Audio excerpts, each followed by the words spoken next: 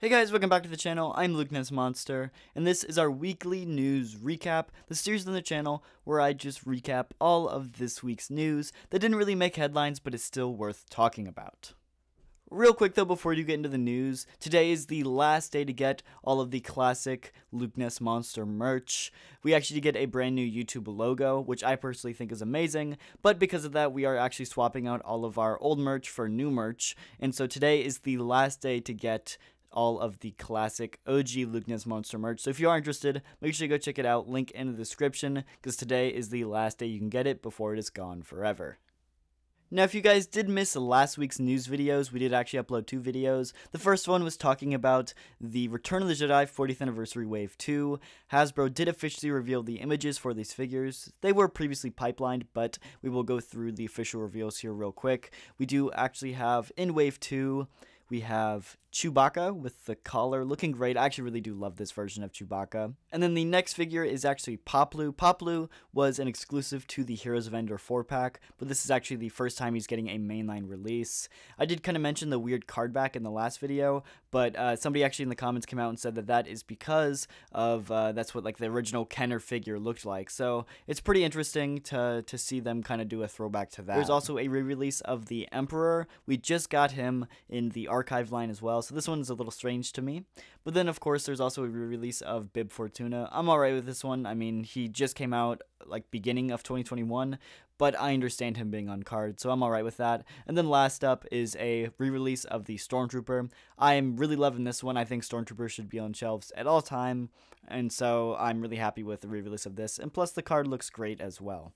Now, moving into the second video that we did actually make last week, I'm not going to get super in depth, but that video was about some figures showing up at Frank & Sons is a collectible store in California. Pretty cool. If you do want to see a lot of those reveals and different figures showing up in stores, go check out that video. But the big thing that that video was about was that we've uh, been getting a ton of reports that Black Series Wave 35 is showing up overseas.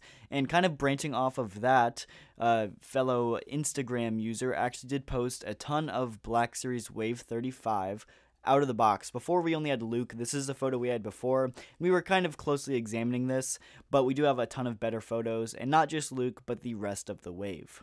So, actually, starting off, we're going to look at the new photos of Luke. Now, uh, these are interesting. I honestly don't think this helped me very much. To, to be honest, it's just kind of a different angle, and I'm still not really sure how I feel about that Luke face. Um, it just doesn't really look like Luke Skywalker. I don't know, something's a little off, but I think this is again one of those where I gotta wait till I actually have it in hand to really judge it. But I still think that Luke is definitely gonna be the most popular figure from this wave. Next up, we're going to be looking at Cal, and I think Cal is going to be the second most popular figure from this wave. But Cal's a very interesting figure here. At first, I didn't really like the outfit. It kind of reminded me of like cowboy kind of vibes, and I wasn't really digging it.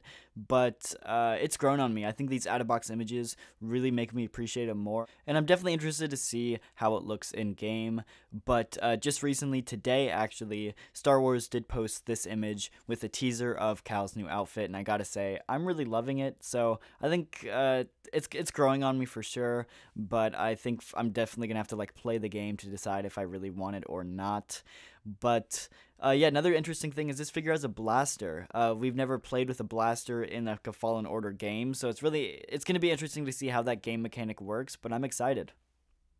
Anyway, next up is Mon Mothma from Andor, and this is one that I'm actually pretty excited about. This one looks pretty good, and uh, I don't really want it for any of the Andor reasons. I just want it to go with my Return of the Jedi figures. Uh, Return of the Jedi, I believe, was the first movie that Mon Mothma actually showed up in. Like, I, I don't know if she was in A New Hope. I could be wrong. Um, but I distinctively remember her in Return of the Jedi, so I'd uh, I'd love to get her with the rest of my Return of the Jedi figures the next one is actually Din Djarin in his Stormtrooper disguise. Now, this is one that I don't necessarily care, care too much about. Um, I like Din Djarin, but I, I don't necessarily care too much about this version of the figure. I do think that this is a big upgrade for the face and uh, face mold and print and everything compared to the last version that we got. So, really excited about that. I think this might be one that if you don't have a Din Djarin head sculpt yet, this is the way to get it. But I do really like Pedro Pascal's likeness on this figure.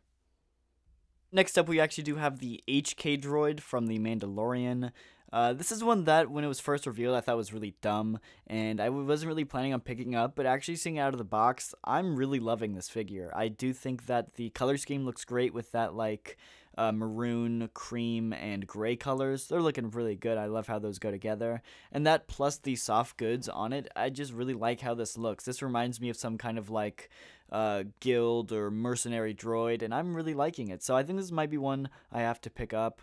Um, not necessarily just because like Ahsoka dueled them in the show. I think that's pretty cool, but that's not the main reason I want them. I just really like the figure. It looks like a good figure. So we'll have to see. I might not get it at full price, but if it goes on clearance, it's a definite pickup for me.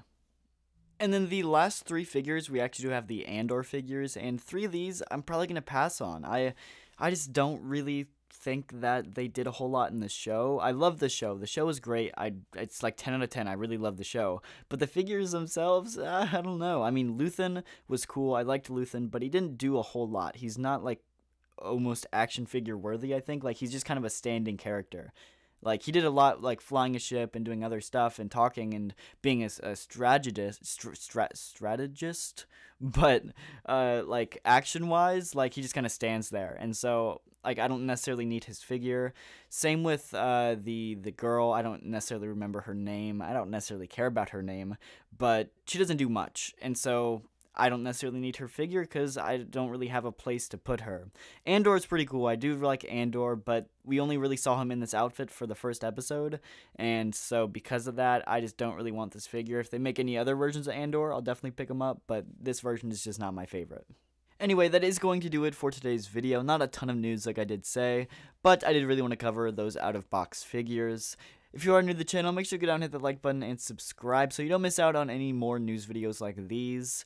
And if you are not yet subscribed, make sure to consider it so you can get entered into the 8.5k giveaway. We are like 250 subs away, which is incredible. So thank you guys so much for all the recent support. If you do want to enter, make sure to hit that sub button so you don't miss out.